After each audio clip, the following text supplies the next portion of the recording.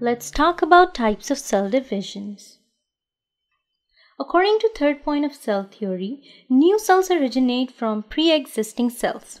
The process by which this occurs is called as a cell division.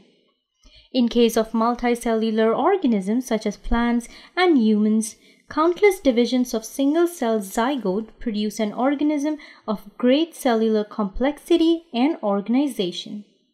Cell division does not stop with the formation of a mature organism, but continues in certain tissues throughout life. This enormous output of cells is needed to replace cells that are aged and died. Although cell division occurs in all organisms, it takes place very differently in prokaryotes and eukaryotes. We will restrict our discussion to the eukaryotic version. There are two distinct types of eukaryotic cell division mitosis and meiosis. Mitotic division serves as a basis for producing new cells when they get old and are to be replaced.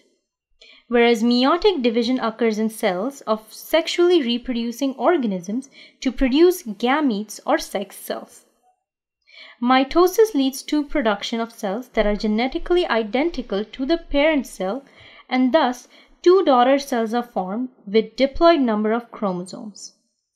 Meiosis leads to production of cells with the half genetic content of a parent. This specialized kind of cell division reduces the chromosome number by half and results in production of four haploid daughter cells. As you can see from the image, in mitotic cell division, a diploid cell with 46 pairs of chromosomes produces two cells of the same number of chromosomes.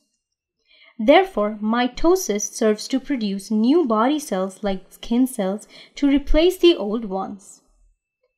In meiotic cell division, a diploid cell with 46 pair of chromosomes makes 4 cells with half the number of chromosomes each that is 23 pairs of chromosomes each.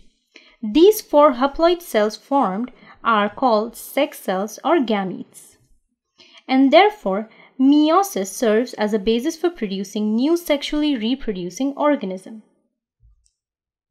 This video took a lot of hard work, so please don't forget to like, share and subscribe to my channel.